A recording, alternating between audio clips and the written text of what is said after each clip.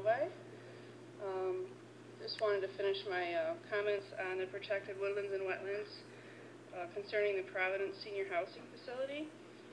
Um, The three questions related to this are, um, I'm wondering why it was approved, um, what about the protection laws for the woodlands and wetlands, and what other sites were looked at.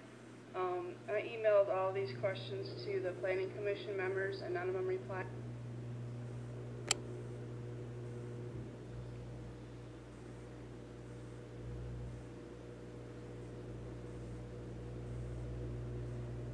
Beck Road, and Beck Road is extremely jammed always.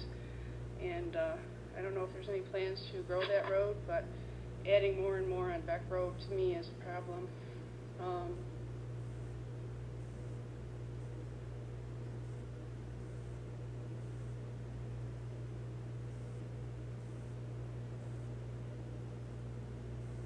in woodland areas, but um, as Mr. Mutch said, uh, you know, an ecos- ecosystem is destroyed, and it really isn't a one-for-one um, issue when you're planting new trees. Um, I guess that's it. Those are my questions, and if I could get those answered, I'd appreciate it. Thank you for all you do for the city.